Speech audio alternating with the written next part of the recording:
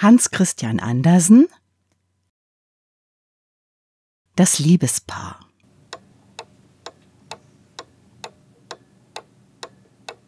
Ein Kreisel und ein Ball lagen im Kasten beisammen unter anderem Spielzeug. Und da sagte der Kreisel zum Ball Wollen wir nicht Brautleute sein, da wir doch in dem Kasten zusammenliegen? Aber der Ball, welcher von Saffian genäht war und der sich ebenso viel einbildete wie ein feines Fräulein, wollte auf dergleichen nicht antworten. Am nächsten Tage kam der kleine Knabe, dem das Spielzeug gehörte. Er bemalte den Kreisel rot und gelb und schlug einen Messingnagel mitten hinein.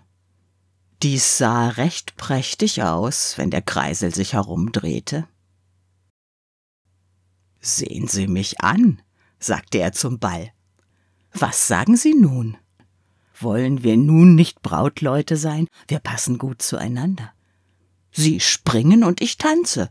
Glücklicher als wir beide würde niemand werden können. So?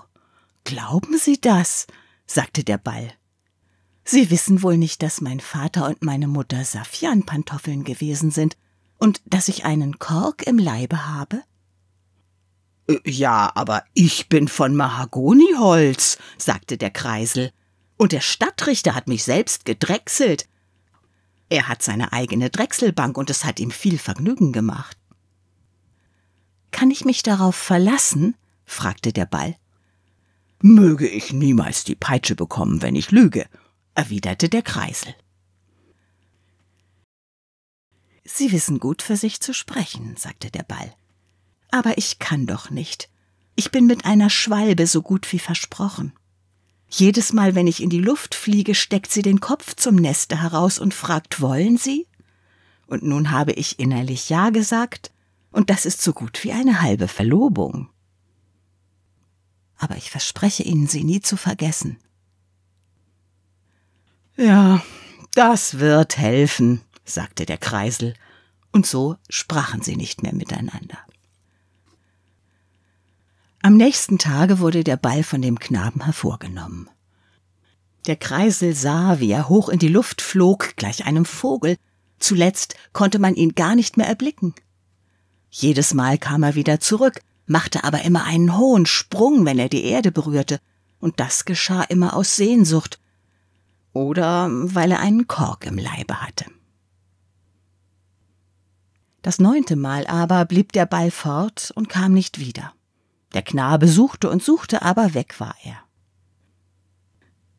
Ich weiß wohl, wo er ist, seufzte der Kreisel. Er ist im Schwalbenneste und hat sich mit der Schwalbe verheiratet. Je mehr der Kreisel daran dachte, umso mehr wurde er für den Ball eingenommen. Gerade weil er ihn nicht bekommen konnte, darum nahm die Liebe zu. Dass er einen anderen genommen hatte, das war das Eigentümliche dabei und der Kreisel tanzte herum und schnurrte, dachte aber immer an den Ball, welcher in seinen Gedanken immer schöner und schöner wurde. So verstrich manches Jahr, und da war es eine alte Liebe. Der Kreisel war nicht mehr jung. Aber da wurde er eines Tages ganz und gar vergoldet. Nie hatte er so schön ausgesehen.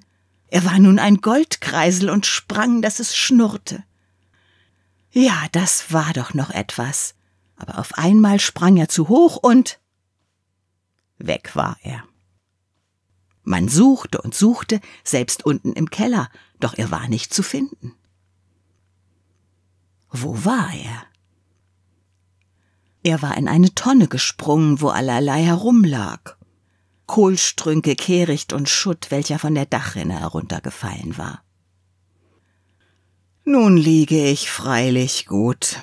Hier wird die Vergoldung bald von mir verschwinden. Ach, unter welchen Unrat bin ich geraten.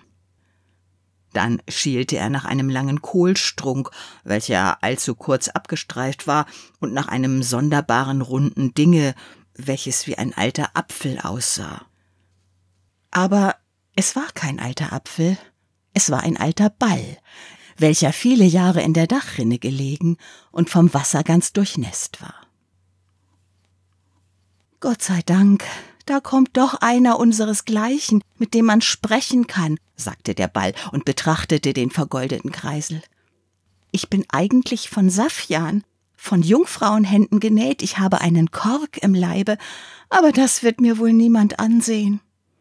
Ich war nahe daran, mich mit einer Schwalbe zu verheiraten, aber da fiel ich in die Dachrinne. Dort habe ich wohl fünf Jahre gelegen und bin ausgequollen. Glauben Sie mir, das ist eine lange Zeit für ein junges Bällchen. Aber der Kreisel sagte nichts. Er dachte an sein altes Liebchen, und je mehr er hörte, desto klarer wurde ihm, dass sie es war. Da kam das Dienstmädchen und wollte den Kasten umwenden. Heißer, da ist der Goldkreisel, sagte sie. Der Kreisel kam wieder zu großem Ansehen und Ehren, aber vom Ball hörte man nichts, und der Kreisel sprach nie mehr von seiner alten Liebe die vergeht, wenn die Geliebte fünf Jahre lang in einer Wasserrinne gelegen hat und ausgequollen ist.